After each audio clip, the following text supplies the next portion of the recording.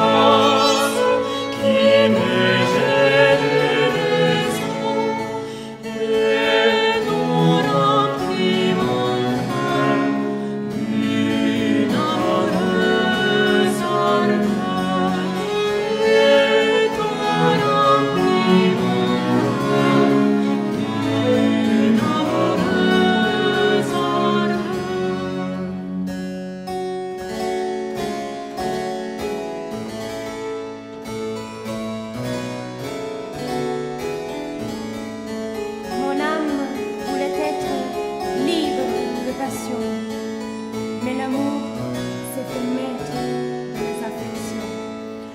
Et ta sous sa et mon cœur et ma foi. Et ta sous sa